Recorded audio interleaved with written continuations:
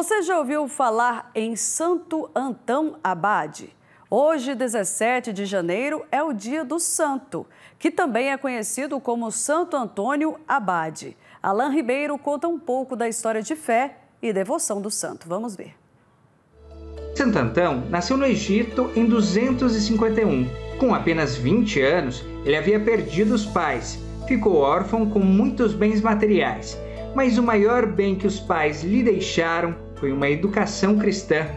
Ao entrar numa igreja, ele ouviu a proclamação da palavra e se colocou no lugar daquele jovem rico, o qual o Cristo chamava para deixar tudo e segui-lo na radicalidade.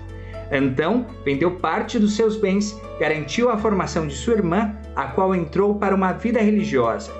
Ele é representado geralmente ao lado de um porco com um sininho pendurado no pescoço, esta representação iconográfica tem relação com o fato de que a antiga ordem hospitaleira dos Antonianos criava porcos nos centros habitados porque a sua gordura era usada para ungir os doentes do ergotismo.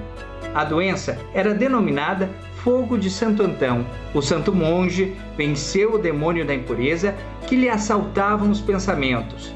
Ele tinha se apresentado como um amigo da impureza mas que então sempre o afastava pela oração e pelo encontro com o Senhor Jesus. Santo Antão morreu perto do Mar Vermelho aos 105 anos de idade.